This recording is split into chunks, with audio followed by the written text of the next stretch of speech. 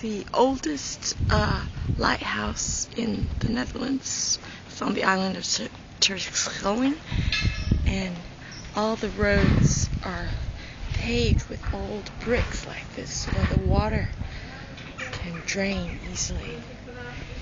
And there are all these old Dutch houses throughout the island like this, and people cycling.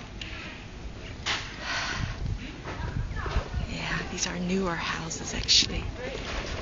And soon, that is the waterfront where a boat is waiting for us.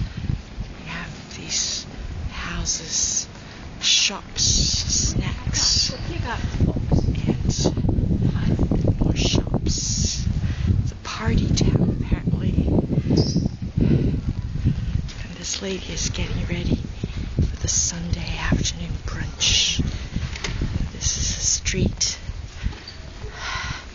Again, a street with shops and everybody sitting outside in the back to the tallest lighthouse in the country. You have these hay hovels, different types of rooftops, which you see throughout the country. And of course, bicycles everywhere.